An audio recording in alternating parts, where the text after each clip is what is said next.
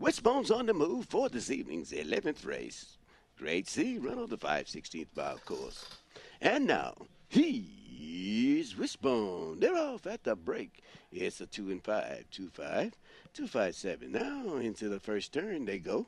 It's 7 and 1, 7 1. Greyhounds down the backstretch. It's a 716, 716.